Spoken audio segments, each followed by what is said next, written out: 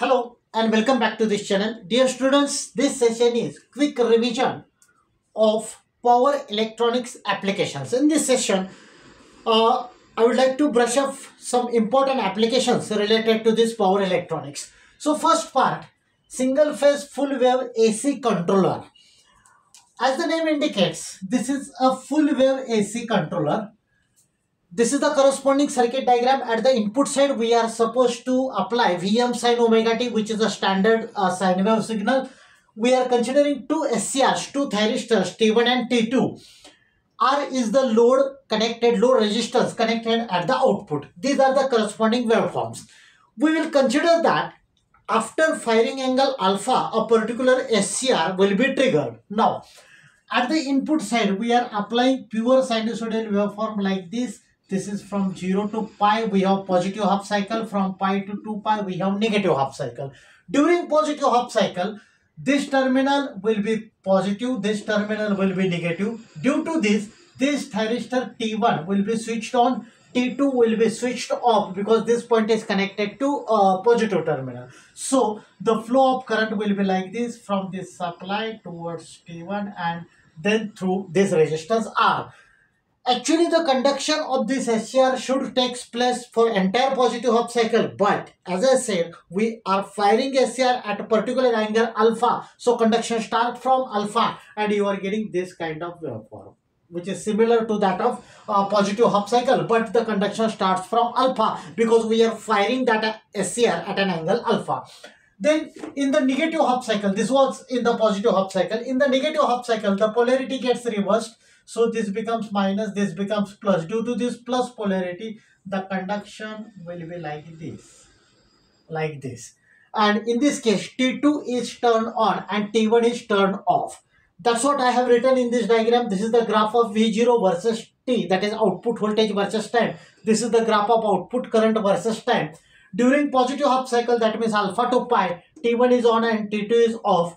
Then again during negative half cycle but after pi plus alpha ideal negative half cycle starts from pi. But we are firing SCR uh, after angle uh, alpha. So during negative half cycle that means from pi plus alpha till 2 pi this T2 is on this SCR is on and T1 is off. This is the way how this single phase full wave AC controller works now let us discuss application of power electronic devices which is fan regulator using TRIAC. Actually this is this application is for the combination of uh, DIAC and TRIAC which is used to regulate the speed of a fan. This is the corresponding circuit diagram. This is the uh, fan motor which is connected to single phase AC we are using two resistors R1 and R2 and one capacitor C. This is the combination of DIAC and TRIAC. Now initially this value of potentiometer R2 this this R2 is a potentiometer variable resistance it is kept at the maximum position then once you start varying it uh, there is one particular term which is called RC time constant so this RC time constant will be decided by values of R1 R2 and C जैसे मैंने बताया as you move this position of wiper the uh, value of RC time constant is changed initially R2 maximum था उसके बाद हम लोग जैसे wiper का position change करेंगे the value of RC time constant will vary and the charging of capacitor starts taking place once the charging of capacitor reaches up to the sufficient level that means once it reaches up to the level which will overcome the breakover voltage of DIAC then this diac starts conducting and it will apply trigger pulse to this triac. Then triac starts conducting. Once the triac starts conducting this uh, current from this single phase uh, AC supply will pass through this fan motor and it will follow the path like this. Now we are using diac and triac. So as I said, this RC time constant can be varied and accordingly the triggering of this TRIAC can be varied. So fan speed can be regulated and this DIAC and TRIAC both are bidirectional devices. So we can well control the speed during positive and negative half cycles of the single phase AC supply. Next application is electronic ballast circuit. Basically, electronic ballast circuit is used to stabilize the voltage and current across uh, the electric tubes. So it is used for stabilizing currents in electric tube supply circuit. it can be considered as a choke without any starter. Uh, if you're talking about the fluorescent lamp, then initial gas discharge in inside the fluorescent lamp takes place by applying initial very high voltage, which is around 1000 volt. After that, the control unit takes uh, part and it maintains it it keeps the voltage across the fluorescent lamp below 240 volt. So after that, this electronic circuitry maintains the supply voltage, I mean maintains the voltage across the lamp and current through the lamp at a particular level and accordingly the operation can be controlled. So this is the block diagram of electronic uh, ballast circuit. Uh, EMI filter as the name indicates is used to reduce down the EMI effect that is electromagnetic interference effect. Rectifier converts AC signal into DC signal. Then power factor correction as the name indicates is used for the correction of power factor this high frequency oscillator stage converts DC signal into a square wave type of waveform whose frequency is high frequency 20 kilohertz to 80 kilohertz. So this high frequency signal is applied to the tube. So instantaneous switching of the tube takes place and once the fluorescent lamp or electric tube is switched on then a particular current and voltage is maintained. So uh, after discharge process, just now we discussed, initially the voltage across the fluorescent lamp is 1000 after discharge, the voltage is maintained below 240 volt. Then advantages of this circuit, I mean electronic ballast circuit, starters are not required then uh, due to higher frequency operation, uh, instantaneous switch on uh, takes place. Uh, then no flickering is there and uh, it saves the energy so it can be used for the energy saving purpose disadvantages includes it's bulky in nature and it's a higher cost. So this is about the block diagram and working of electronic ballast circuit. Next application is LED lamp driver circuitry. This is the simplest circuitry in which we will discuss how this uh, circuitry is designed to operate LED lamp which is operating at 6 volt supply. From this end, we are applying 230 volt AC supply. This is a step down transformer. We are using two diodes D1 and D2 which forms the full wave uh, bridge rectification. So output of these diodes will be a DC signal. It is applied to the further part that is to the lamp, to the uh, capacitor and so on. One more connection is taken from secondary of transformer through D3 through R1 and it is connected to the positive terminal of battery. So this signal is used to charge the battery. As I said, the output DC signal, uh, output of rectifier is applied to the upper plate of capacitor. So this transformer is a step down transformer whose output is around 6 volt. So due to this, the charging of this capacitor start taking place. Now observe this diagram carefully. This cathode terminal of SCR is connected to this point to the upper plate of capacitor whose voltage is around 6 volt. Whereas the lower point, I mean this anode terminal of SCR is connected to the battery terminal. This cathode voltage is slightly greater than the battery voltage. So reverse bias of SCR takes place because of which whatever this 6 volt which was available at this point as well as at this point this will be appearing across the lamp and glowing of lamp takes place. This is the way how this simple circuitry works. Now its advantages includes it is a low power consumption application size is small then it is a high speed operation and uh, in other uh, lamp circuitries like light reflectors are required. In this case light reflectors are not uh, required. Disadvantages includes it is basically a temperature sensitive uh, circuitry and it is also voltage sensitive circuitry. So this is about led lamp driver circuit now let us discuss the dc drives first we'll uh, discuss about the definition of DC drive. It is a circuit which converts AC to DC to drive a particular motor. Now, if we are talking about single phase separately excited DC motor, then this is the simplified diagram of such a motor which is single phase and separately excited. Meaning of word separately excited means armature windings and field windings are powered by separate connection. जैसे इस diagram में देखो, ये field winding है, यहाँ पे एक अलग डीसी सप्लाई कनेक्ट किया है। This is armature winding which is connected to different supply so they are separately excited now these are the different equation armature voltage is given as E as K phi omega M omega M is the rotational speed of a motor Then motor terminal voltage is VT, which is EA plus IA RA. RA is armature resistance. IA is current passing through armature windings. Then armature current IA is VT minus EA upon RA. Now, whenever there is increase in the load, this load increases, then the speed of motor gets reduced. That means value of omega m reduces. So this value omega m is reduced because of which from equation 1, the value of EA gets reduced. EA is armature voltage. Look at equation 3. EA is reduced. That means this term is reduced, but it is getting subtracted from VT. So armature current increases. Due to increase in armature current, the required torque, more torque will be developed and the speed will be achieved. So this is the way how this separately, a single phase separately excited DC motor works.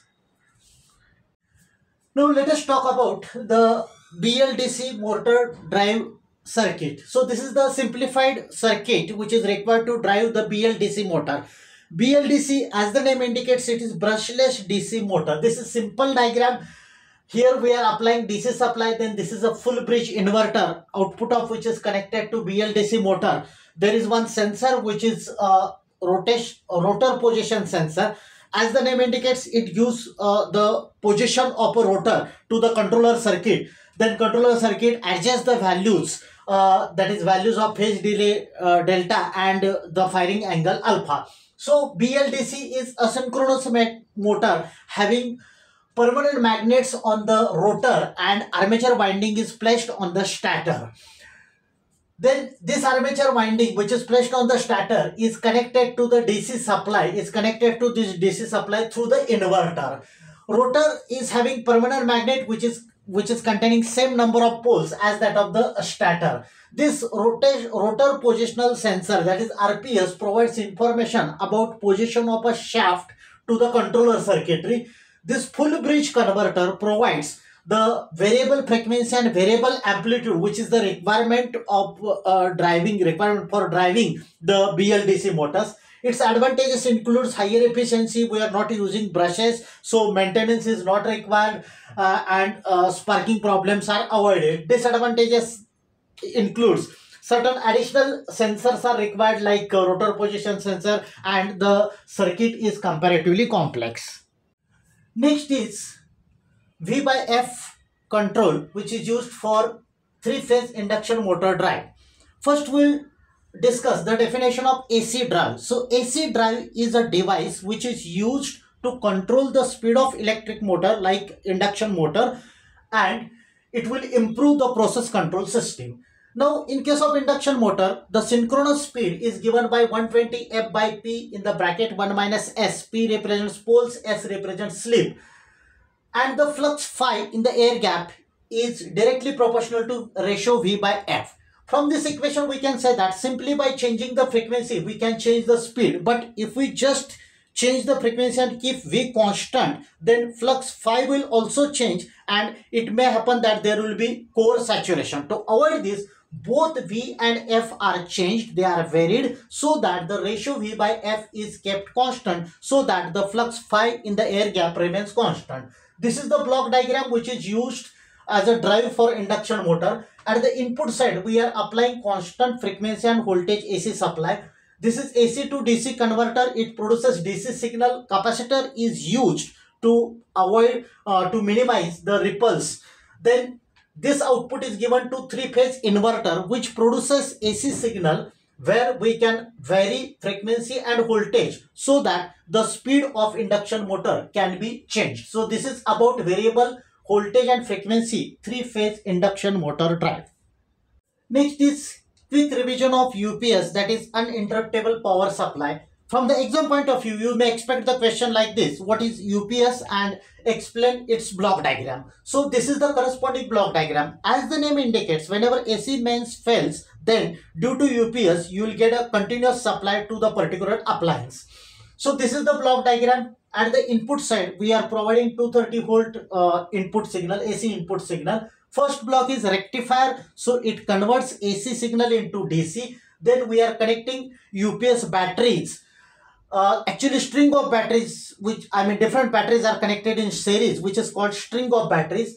this output of batteries is dc so again we want we are uh, we are using inverter which converts dc into ac signal then output of this inverter is given to the step up transformer it will generate 230 volt required ac output so this is the block diagram of ups next is let us quickly revise EV batteries, that is electric vehicle batteries. First, we'll talk about performance parameters of EV batteries. There are different performance parameters. So, first is cell voltage. Battery is used to convert chemical energy into the electrical energy and it produces EMF, that is electromotive force between the two electrodes. The value of EMF is usually in the range 3 to 3.2 volts. So, whenever the cells are fully charged there is a maximum emf whenever cell discharges then emf reduces next is ampere hour capacity it is basically multiplication of constant discharge current into time for which the voltage drops this downward arrow indicates voltage is dropping time for which voltage drops below the final value so this multiplication factor is called ah capacity that is ampere hour capacity one more term related to this ampere hour is ampere hour efficiency. It is ratio of ampere hour discharge to the ampere hour charging. Next, watt hour efficiency. It is simply ratio of energy supplied by battery during discharging operation to the energy supplied by the battery during charging operation. Next is reserved capacity. Every battery has certain a typical reserve value, reserve capacity. So it indicates the time for which the battery tolerates certain amount of drain current without affecting, without reducing the terminal voltage. So this is the reserved capacity of EV battery. Next parameter, energy density. That means how much amount of energy per cubic meter is stored in the battery. So it is expressed in watt hour per meter cube. Next is state of charge that is SOC. It represents amount of stored energy with respect to the total storage capacity of that particular battery. Next is depth of discharge. It represents the battery capacity that is discharged with respect to the maximum capacity of that particular battery. Cycle life, it represents number of uh, charging charges and number of discharges uh, of that particular battery before it reaches to some predetermined criteria like predetermined energy levels. Next is self-discharge. As the name indicates, uh, if you are not providing, if you are not connecting the battery to any load, that means under zero load conditions, the reduction in the capacity of a battery is called self-discharge. Now, last part of this unit, architecture of EV battery charger. From the exam point of view, you may expect the direct question like write a short note on architecture of EV battery charger. So this is the simplified diagram it shows both onboard charging system and off-board char charging system. As the name indicates, off-board charging system is outside the vehicle, whereas onboard charger charging system is inside the vehicle. Both the system, onboard as well as off-board, consists of AC to DC converters and DC to AC converters. This is front end of the system. So for onboard, we are using AC socket, then AC to DC converter is front end converter and it also contains power factor correction system which gives uh, improved power factor that means power factor uh, equal to 1 and it also gives it also produces low harmonic distortion AC for AC to uh, DC conversion that means this block we can use multi-level diode bridge system DC to DC conversion is done by using ZCS or ZVS which is zero current switching or zero uh, voltage switching system. In case of off-board system, the blocks are same. Only the thing is that as I mentioned, it is outside the vehicle and it gives high power rating charger. It also produces fast battery charging. So this is about the architecture of EV battery charger. So that's it for this unit and that's it for power devices and circuits. So thank you. All the best for your exam.